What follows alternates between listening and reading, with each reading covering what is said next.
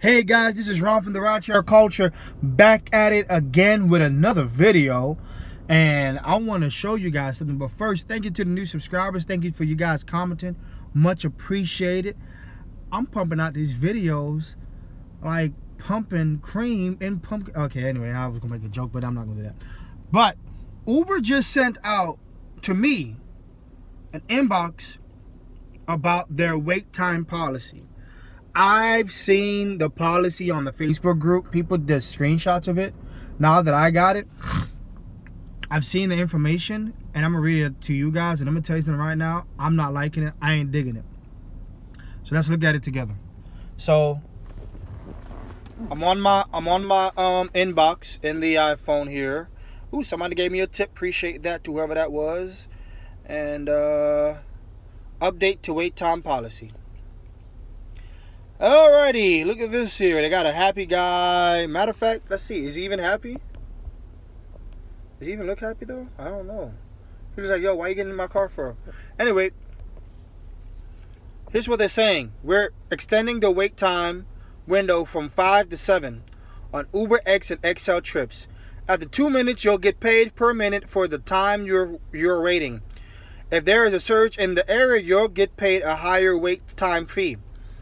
If your rider is late, once you arrive to at the pickup stop and have waited two minutes, you'll get paid a per minute fee.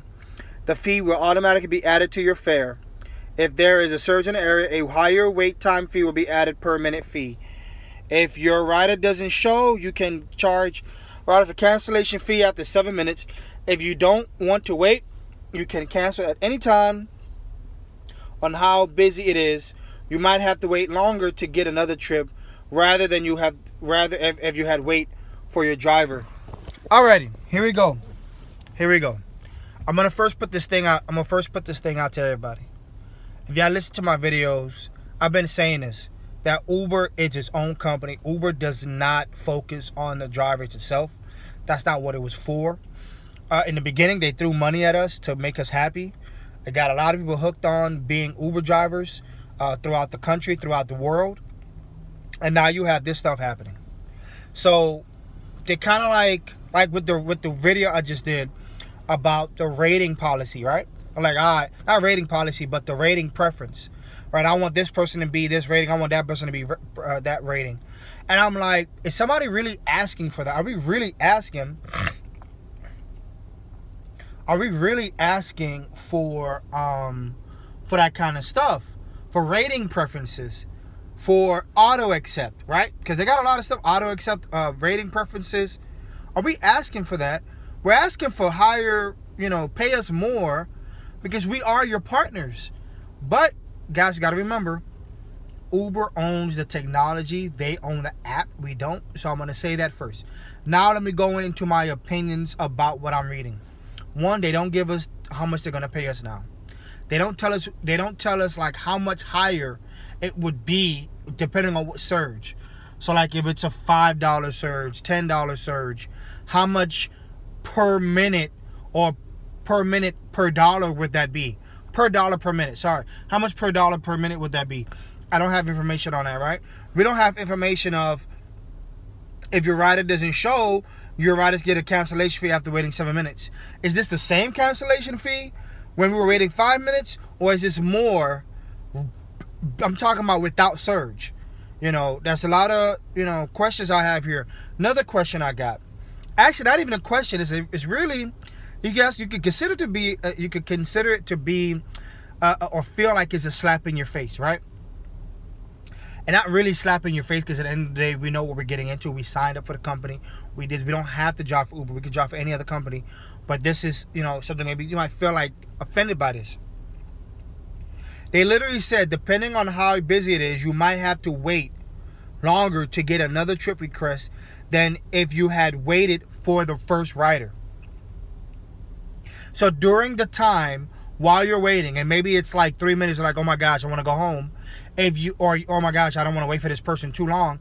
If you cancel, from what I'm understanding, as it sounds like the algorithm, Uber's algorithm is gonna say, oh, this dude canceled midway of waiting for the person, right? He waited three minutes, but then he canceled. We're not gonna pay him, and we're gonna go ahead and actually, we're gonna do this. We're gonna actually, um, um, maybe pause for a moment so he don't get no trips with the, he or she doesn't get any trips within I don't know how long, maybe a minute, two minutes or so, whatever the number is. And now saying you have to wait longer. But but why why are you telling us that you would have to wait longer, Uber? Right? And you know, once again, I'm not the guy to be complaining about Uber like that because again, I already know how it is, and I wouldn't want you guys to complain. I'm just giving you information on how I feel about it. In the end of the day, Uber's a business. I know what they're trying to do. They notice that depending on the areas, and I think this is depending on areas. I don't know if everybody has it yet. They want to push forth having passengers getting the car. Because think about it, guys, right? The customer doesn't come down in five minutes. We're gone. We shut off. We actually, some of us actually shut off the app afterwards because we don't want to get that same customer. Because many a times when you shut, when you turn it off and you go back in to see where they were going, many of the times for me, they're going two blocks away, three blocks away. Why would I want to take a trip like that? So I'd rather move away, collect that cancellation fee. I think of it's four dollars and sixty nine. Is it four sixty nine? Four dollars and sixty nine cents here in in in in Miami market. But this is for me to say to you guys, guys. Remember, you guys are independent contractors, okay? Uh, you know, Uber's gonna go ahead and do what they need to do to ensure that they are making profit so they can make the profit for their investors. Remember, they're geared towards the investors and they're geared towards the the, the passengers, the riders, and any other investments throughout uh, their company. They're not really geared toward delivery drivers or drivers because again, this, we are an expense to them because they have to pay us out, right? That's one of the reasons why in the past they were so gung ho about the robots, the self-driving vehicles, and putting so much money into that because they figure how much money less can they get by just doing this. So with that being said, um, I don't like it. I don't think anybody's gonna like this. But what's gonna do is gonna force us to call our passengers. Hey, are you coming down? Are you coming down? Are you coming down? It's gonna force us to do little notes in there. Hey, uh, after seven minutes, I'm leaving, right? And why seven? Why not a number like eight? Why not six? Right? You know, and and Uber's been, been, you know, I remember Uber when they said two minutes, and they were very strict on that two minutes, but they realized there was so much cancellation fees happening. They're like, nah, we don't want to deal with that. Because again, I was making money off of cancellation fees. I was making a lot of money because I would tell my customers, hey, I'm here. They say, okay, I'm on the, on the way down. If you're not down after two minutes, I'm gone because I got to get to the next customer. So, but now that's even harder. It's hard to get that cancellation uh, as a driver. So, with that being said, you saw the new policy there. It's still vague. I don't have all the answers. I'm going to try to figure out if I get some answers and do an update. But what do you guys think? What are you thinking about this? How do you feel about this policy? Leave your comments in the comment section below. Right? Leave a like to the video if you like it. Leave a dislike if you dislike it. Uh, and let me know. I'm really interested in what you guys are thinking. To me, this is again, it's not we're not it's not geared toward driver's lifestyle. It's geared towards Uber's making a profit. Okay, that's just me. Anyway, you guys have a good one. Be easy. It's about a 10 minute video. Sorry for taking so long, but I will catch you guys on the flip side and talk to you guys later. Later. Peace.